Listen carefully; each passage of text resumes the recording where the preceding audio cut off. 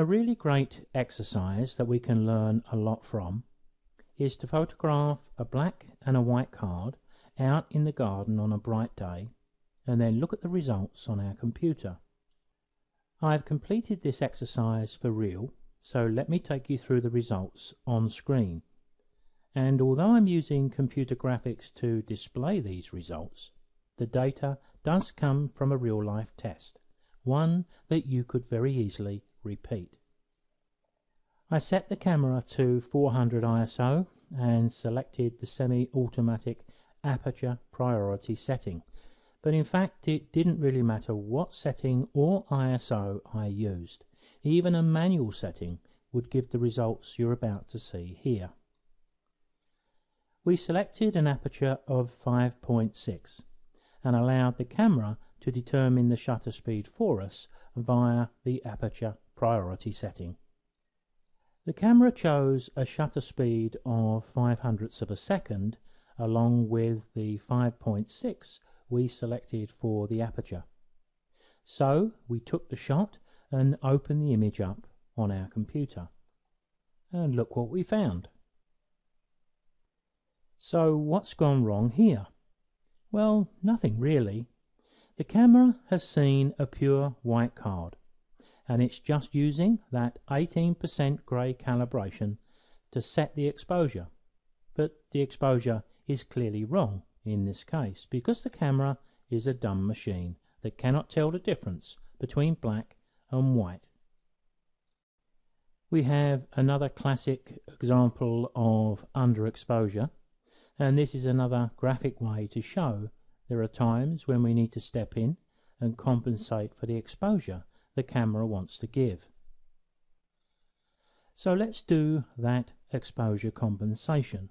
And what do we find? Well, to bring our grey underexposed card back two pure white on our computer, we needed to increase the exposure to complete stops. So looking at what we have here, we've had to double the exposure by slowing the shutter speed first from a five hundredths of a second to two fiftieth of a second, and then we've had to double the exposure again when we selected a hundred and twenty fifth of a second. But now we have the white card recorded as white. Now let's take a look at the same thing with the black card where the camera selected a thirtieth of a second as the shutter speed, remaining with an aperture of f5.6. And what do we get? We get the very same mid-grey we saw with the white card and also in our earlier video. So what's happened here? Well, the camera has seen a very dark subject, i.e. black, and it's used its 18% calibration once again to set the exposure. But the exposure is clearly wrong because the camera is a dumb machine and it cannot tell the difference between black and white. So what is it we need to do here to get our overexposed grey card to record as black? We need to reduce the exposure by two stops. So again, like the white card, what we've effectively done, but in the opposite direction, is we've speeded up the shutter speed from a 30th of a second to a 60th, and then once again from a 60th to a 125th. Now we have our black card recording as black. Now look at the correct exposure to record our white card as white, and also the black card to record as black, they're exactly the same. So why does all this happen? Because the camera is a dumb machine. It's not aware that we're shooting both a black and a white card. Now, if we change these two cards for real images, we would see a similar result. And in fact, we did see a similar result in the previous video. I often say Consider shooting a white cat in the snow or a black cat in a dark corner.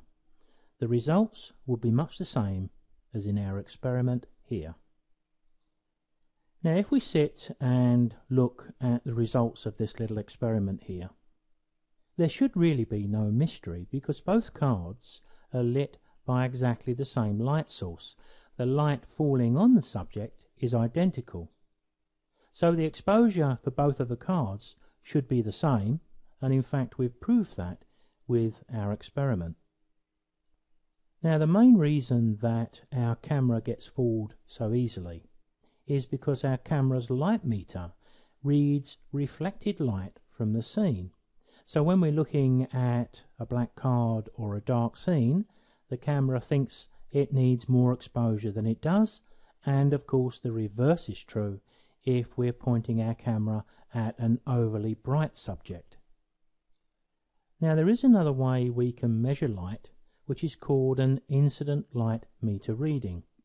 This is where we record the light falling on the subject rather than the light being reflected from it, as in our black and white card experiment. At some time, maybe on TV or in a film, you must have seen a photographer walking up to perhaps a wedding group and holding up a light meter. Now, what they were doing is taking an incident light reading, light falling onto their subject, not reflected from it. Now, this avoids any issues where the white dresses of the bride or the dark suits of the groom and the party would cause bad exposure for the same reasons we've shown in our experiment.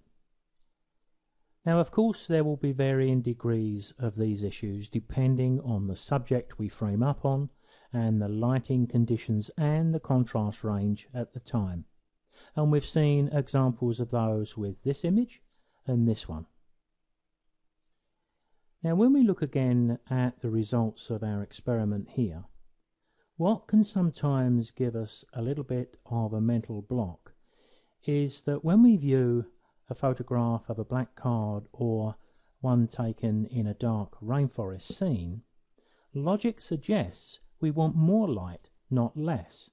After all, don't we use flash at times to illuminate dark scenes?